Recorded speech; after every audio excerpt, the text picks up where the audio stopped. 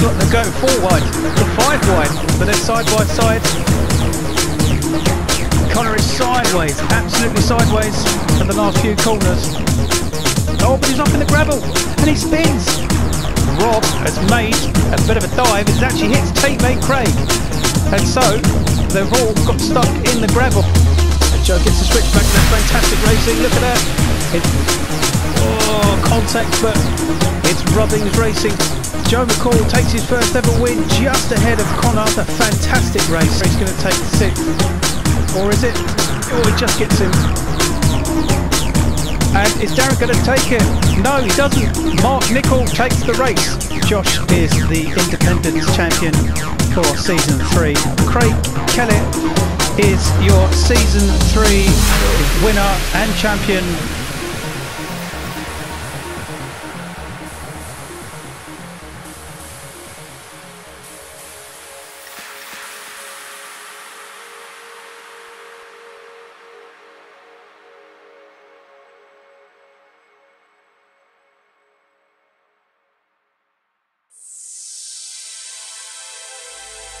Okay, here it is, your second grid of the day for Suzuka. Gary Black is on pole position again after his win in race one in the MCR Storm VW Scirocco next to Kieran Thomas in the K-Tech Racing Renault Megane. Row two is Darren Parker at the first of the Team Redeem Motorsports Mazda Atenzas next to uh, Mike Comer in the second of the MCR Storm VW Sciroccos. Row three is Harry Cook in the second of the Team Redeem Motorsports Mazda Atenzas next to Tom Foster in the second of the Renault Megane uh, for K-Tech Racing. Uh, row four is uh, Mike Kuipers in the K&N Fox Racing VW Scirocco next to Craig Kellett in the Ford Mustang for Elite Racing. Row 5 is Mark Nicol in the K&N Fox Racing VW Scirocco next to Rob Pellet in the Ford Mustang for Elite Racing. Uh, row 5 is uh, Joe Burrows in the Hyundai Genesis for HB Motorsports next to Luke Knox in the Nissan GTR for Snap-on, uh, Team Snap-on. Uh, row 7 is Stephen Heath in the HB Motorsports Hyundai Genesis next to Joe McCall in the Snap-on uh, Nissan GTR and at the back are the two Lexus RCFs for Speedy Motorsports of Alex McCready and Daniel Stewart. Race two then for Suzuka. Gary is on pole position yet again after his win in race one. Kieran is second next to him again and away they go and it's a poor start for Kieran looks like and a great start for Darren so Darren's gone already in to the fight for the lead with Harry Cook also on the outside of uh, Gary. So a good start for Team Redeem. Uh, it looks like oh, Harry goes wide. He's getting pushed there but it looks like uh, Gary did get a really good start off the front line with that frontal drive. So Noxie's made his way up to 7th Craig is being pushed down to 6th here as Tom's on the outside, now on the inside. Uh, Luke looking a bit stronger here, so he could potentially get a good result if he can continue on here. So further down we've got uh, Heathy, we've got uh, Mike Kuipers, Joe Burrows, then it's Rob, Harry, now down to 12 after getting a fantastic start. So that's uh, a bit of work to do there. And that's uh, Dan Stewart getting sideways with uh, Joe McCall at the back with Alex McCready, who looks like he's made another mistake. So this is just not happening for Alex at the moment, is it? Uh, at the no. back. So Gary Ranksman's leading again, which is great to see. Uh, Darren's closed on him with K-Man down in position last race. Mike is also hotting up on Kieran. And Craig has made his way up to fifth as well, and Knox has made his way up to sixth, so someone may have dropped off. Not sure who. Darren goes nearly a little bit wide there, as uh, Kieran is pushing on the back end of uh, Darren and uh, Mike Comer is patiently waiting to see if uh, one of them will make a mistake.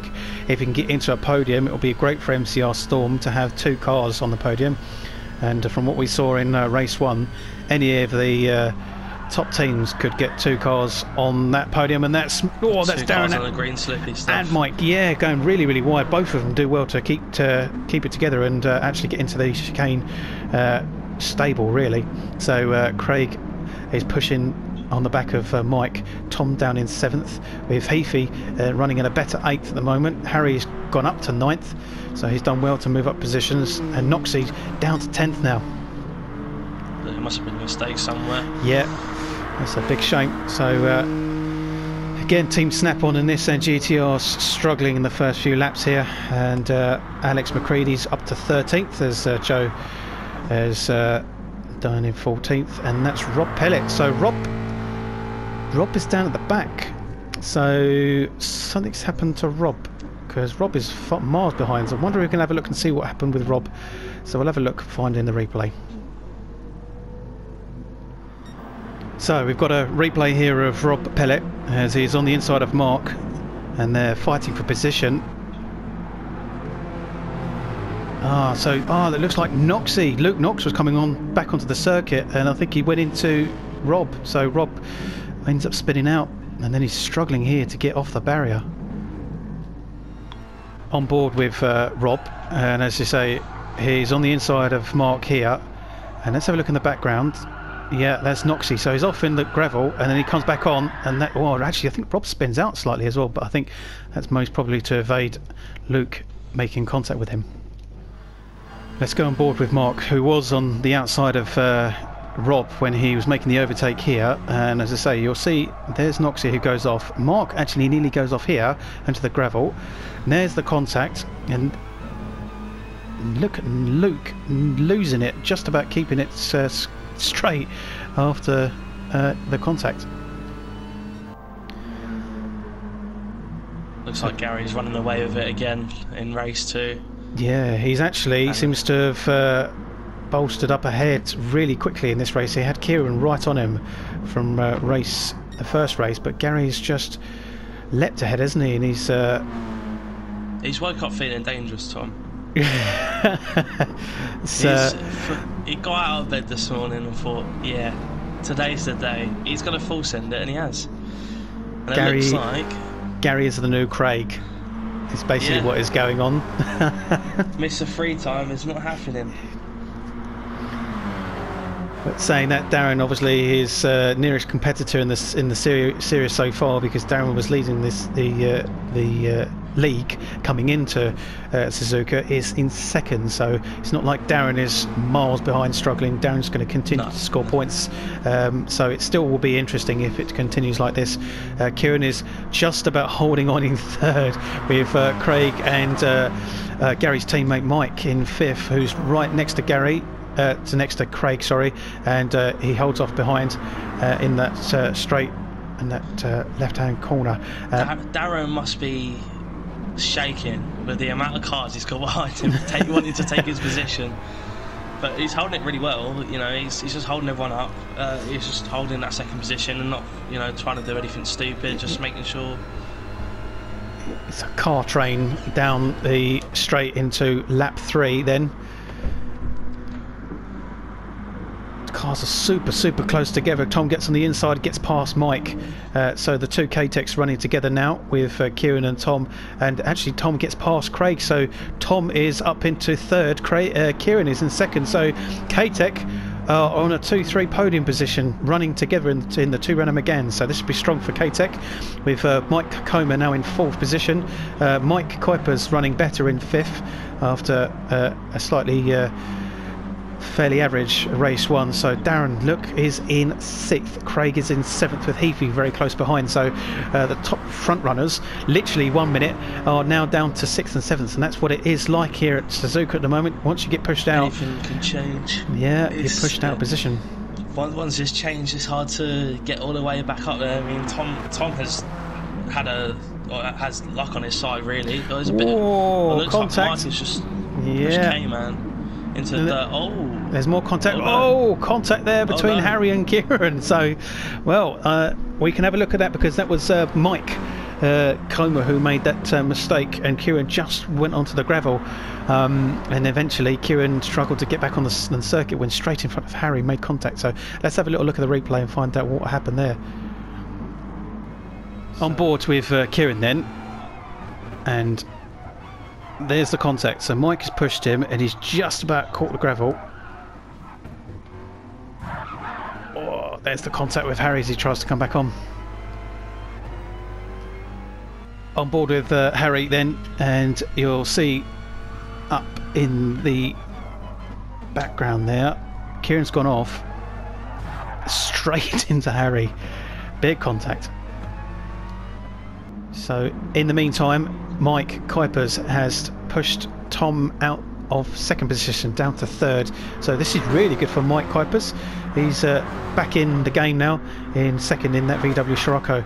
And obviously the Sciroccos are really, really strong here. It's looking like, particularly, uh, well, maybe the, the front runners, the front wheel drive, sorry, uh, looking yeah. strong. Yeah, I think because you've got two long straights, it's, uh, it's that's what the the front wheel drives are really good for. Uh, cornering not so much, but they can make up obviously on the straights. So you've got two nice straights here, just like the Monza really, uh, which is helps helps them out a little bit more. So Craig is just bo bombing past Mike there. The Mustang engine. Pure American muscle is just steaming past, and looks like Tom has gone wide as well into the green slippy stuff.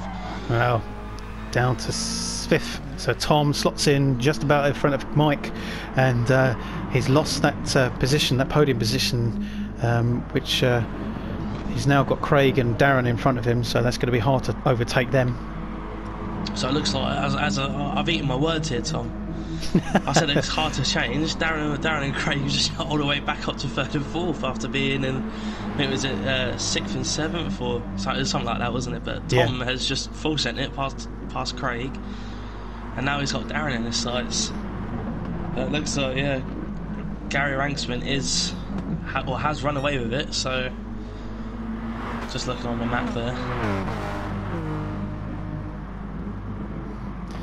So back here we've got uh, Stephen Heath.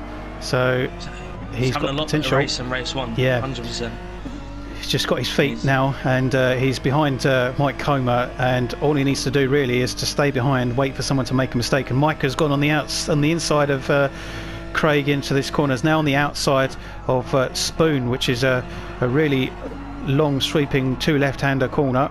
Mike a little bit of lag there, but uh, slots in behind Craig. But could he get on the inside?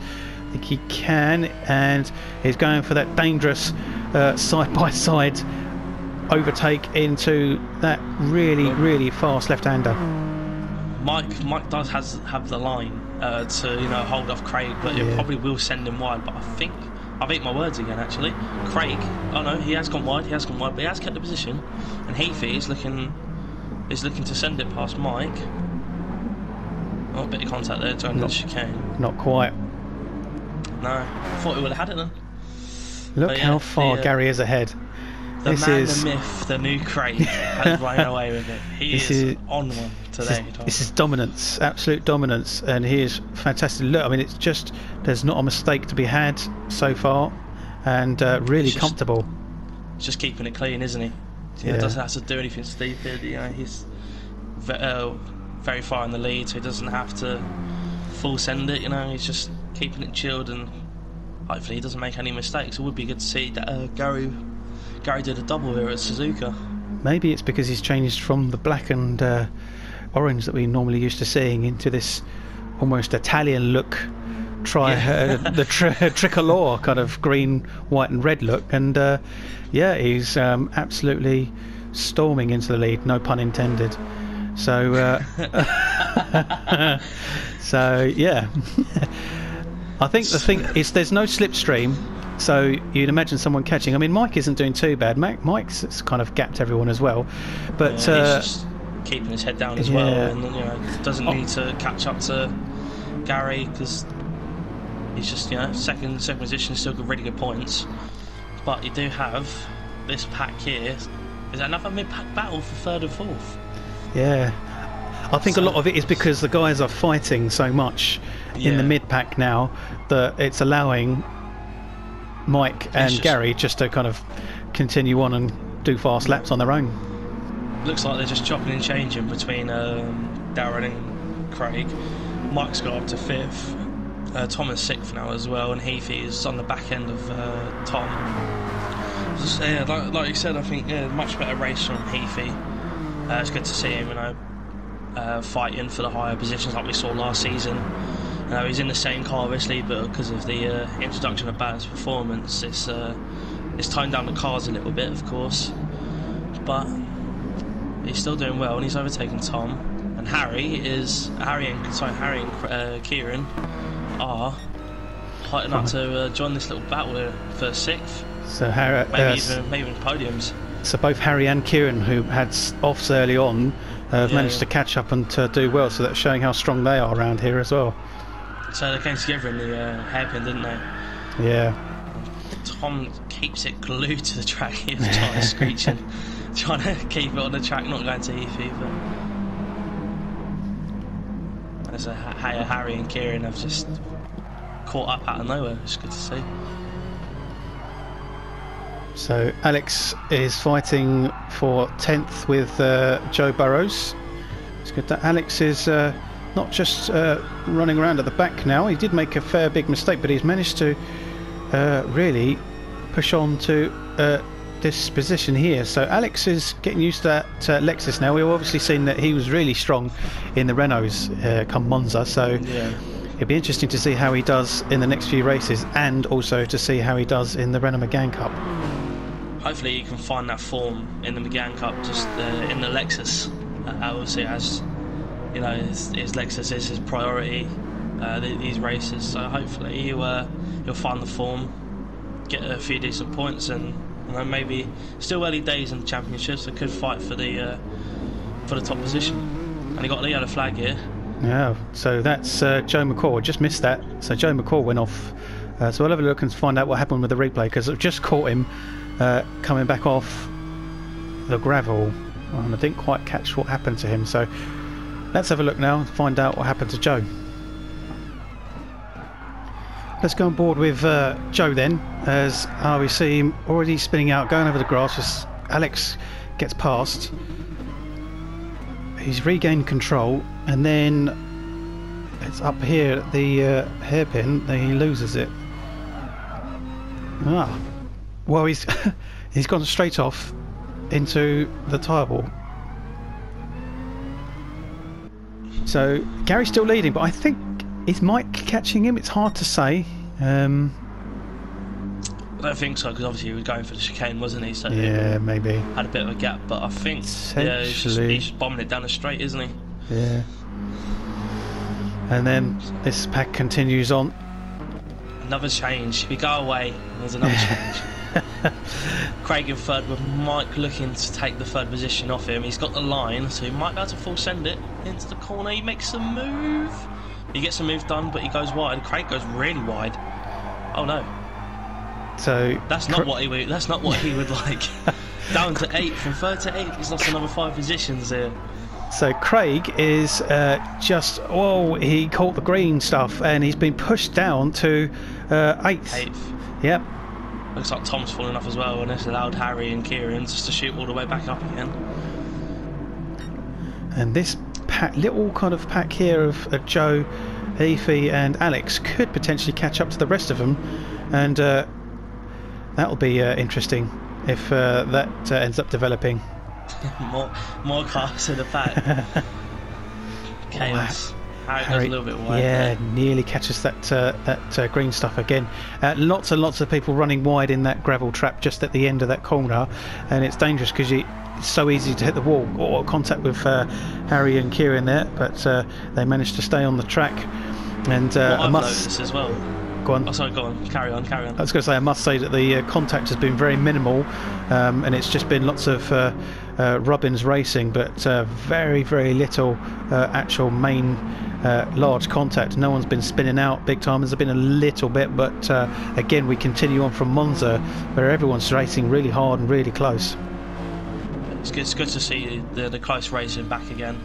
You know, from the past few seasons, usually a few people sending it off for the, the higher positions, and they'll all be split up. But balanced performance is proving to be the uh, the better option that we uh, that has been introduced. So it's good to see that we can have more entertaining racing, really. But uh, what I've noticed as well, uh, there's three three VW Sciroccos in the top three positions, Tom. Yes. So, so it's proving the VWs. the VWs are the car. You know, from season one, what we saw, uh, you know, they weren't the best. Uh, I think it was a Team Five promo, wasn't it? Yes. That ran them. Uh, but and they, they, just didn't prove to be that strong at all. But now uh, they've, you know, we've got we've got three of those in the top position. So I think yo, it, it would be in the top four as well if. No, no, never mind. Ignore that. so yeah, you got you got three of them in the top, all the same car. Don't know where the other one is though. Mark is uh, much further down. Yeah, Uh, he say, yeah. is oh, really struggling in 12. So this is uh, something that must have happened with Mark. I mean, Mark is. Um, I'm surprised by He Mark a- being down in 12. He has a he has a really good race race one, doesn't he? We know he's dangerous at Monza, but after that, he just seems like you know he's a bit quieter. He doesn't get involved in the in the battles too much. Maybe he just Monza's just his track, isn't it? Yeah. And Suzuka isn't. So hopefully we get to see him in the better positions next race. It's Heathy. Sorry, not Heathy. I've got it wrong this time. There's Heathy. He's, he's It's further Jota. up. It's So uh, Joe uh, gets uh, sideways around the uh, hairpin as Alex uh, pushes on to see if he can get past him, but uh, sticks around in 11th. So Alex is still up there for fighting in for the top 10 position. As uh, that's Darren going really wide there. So Darren's uh, been overtaken by Craig, and uh, so Craig now in seventh. So again. Craig and Darren fighting for seventh and eighth, and this has really shown how the BOP has really levelled things out in terms of uh, the racing, uh, and everyone is having to fight for wins and, and and positions. It's not it's not an easy. Although saying that, Gary is making things look very easy. he, is, he is making this track his playground, and uh, you know, it's, it's it's weird to see Craig and Darren in the lower positions. You know, in we had expectations obviously that Craig would come out, do the free time, and uh, you know make make that his. Um, so uh, another record set, uh, set, but it looks like the ones to watch are uh, Mike and uh, Gary in the MCR Storm, so they could take the uh, team's title from Elite Racing.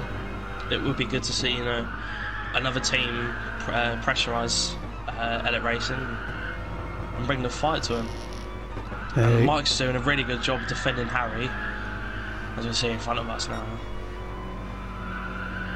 So he's got the, he's got one more lap, and Harry, well, Harry's got one more lap, shall we say? Sorry, uh, just try and get get his way past uh, uh, Mike to get those good uh, good points. Or obviously, as his teammate is in the seventh position, uh, it's not bad. So things are settled, and there's a bit of a gap between this the, the mid pack. There's a, a slight little bit of a bunch up here with Darren leading this pack just ahead of Heafy, uh, Craig, uh, Alex, who has got up into the top 10 now, with uh, Joe being pushed down to 11th, and uh, Mark just is too far away for making a real push there. But uh, yeah, as I say, it's uh, it's good for Alex to get into the top 10. It's progression. Maybe he can get some Yeah, better results further into the season. That Lexus is an absolute beast, and it's to say it's uh, one of the least desired cars in previous seasons. Gary, of all people, who's now well in the lead, uh, really struggled with it in uh, season two. So Yeah, I think I think this balance performance definitely helped Gary out a little bit because obviously uh, the the cars that were good on balance performance were taken off in an instant. Yeah. It just uh, wasn't ideal, but he takes the win again. Brakesman Yeah. done the double here at Suzuka, and Mike is coming around for second position. That's a great point all for Mike after not being here for Monza. It's a double podium with Mike Comer in third and the podium position. So Darren gets uh, Harry's he's fourth, uh, Kieran's fifth, Tom was sixth, uh, Darren is seventh, uh, Heathy was ninth. Uh, Joe Burrows 10th, Mark Nichol is 11th, and look at that, that's Craig Kellett. So Craig is fighting Mark, but Mark still gets it. 11th, Craig. Something happened to Craig, so Craig must have gone off. Noxie was 13th. Uh, Dan Stewart is 14th. As uh, Rob, obviously, unfortunately, does manage to catch up, uh, gets uh, uh, 15th. Gary Black gets a dominant second win of the day, then ahead of Mike uh, Kuipers, with Mike Comer getting his first ever podium uh, finish. Harry was fourth ahead of Kieran and Tom for K-Tech Racing in fifth and sixth. Darren was seventh. Alex McCready gets a strong eighth ahead of Stephen with Joe Burrows in tenth. Mark in eleventh. Craig twelfth. Luke thirteenth. Daniel Stewart gets his first points in 14th, and Rob Pellet finishes at the back with Joe McCall unfortunately retiring out of the race. What this means for the uh, overall points then, Gary continues to uh, quickly lead in 88 points in first place. Darren in second with 73, as uh, Tom jumps into third now with 59 points and pushes Mark and Craig down to fourth and fifth. As uh, Kieran continues in sixth, seventh is Harry as he jumps up now, and this pushes Stephen and Luke down to eighth and ninth. Uh, Mike Comer jumps up to 10th, so Mike is moving on very quickly as he scores points. Mike Kuipers also goes into 12th position. What this means for the teams then, Team Redeem are continuing to lead, but only just with 116 points, as you can see, with MCR Storm now in second still with 114, so only two points between them, with K-Tech in third, 112 points there. In fourth is uh, K&N, who continue to score with 81. Uh, fifth is Elite, who are dropping down the points, as do uh, HB 69, and uh, Team Snap On in seventh, and Speedy in eighth. In the Rookie Cup, Gary Black is continuing to lead, 97 points, quite far ahead now of Luke uh, in second with 76, who is only just three points ahead of Harry in third with 73. Rob is on 62 with Alex McCready 58, and Mike Comer continues to score points in, in the Rookie Cup as well, as Daniel Stewart gets his first points in the Rookie Cup with nine points.